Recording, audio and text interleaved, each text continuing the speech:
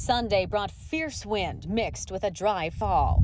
Oh my God. I mean, it was a, out in the swamp where you could see it. You could actually feel the heat coming up at you. Brad Mueller was out in his yard when flames came whipping toward his home. But there were 15, 20 foot flames coming. There were times you couldn't see across this road. It was so black and so smoky. Norwood Young America Fire Chief Steven Zumberg believes a neighbor doing fall cleanup started a fire. There's no way we were getting to gain control, so our strategy was to go defense and run it out of fuel and keep it from jumping roads. It was traveling, I bet, in a matter of 10 minutes, it was all the way, almost all the way over here. Two firefighters were injured when a grass rig exploded. Like a loud gunshot.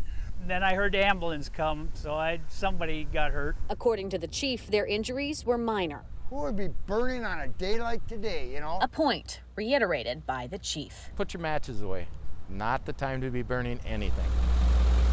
Chief Zumberg says this fire was out of control with 60 total acres burned. In Norwood, Young America, Meghan Reistad, KARE 11 News.